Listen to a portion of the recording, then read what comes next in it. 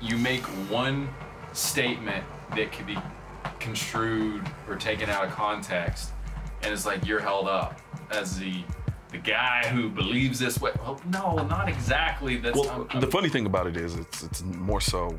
I don't, pers- I don't assume I have the answers to everything.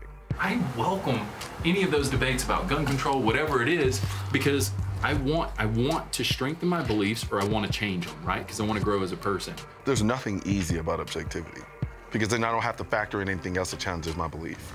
I think there's a distinction between being completely one-sided no matter what, and then being passionate about one side, and then allowing yourself and opening yourself up to be, remaining obje- objective to it. It's hard for me to read articles that are inherently anti-gun. It's hard, but I do it because I know, all right, I, I really need to try to understand where certain people are coming from with respect to their perspective.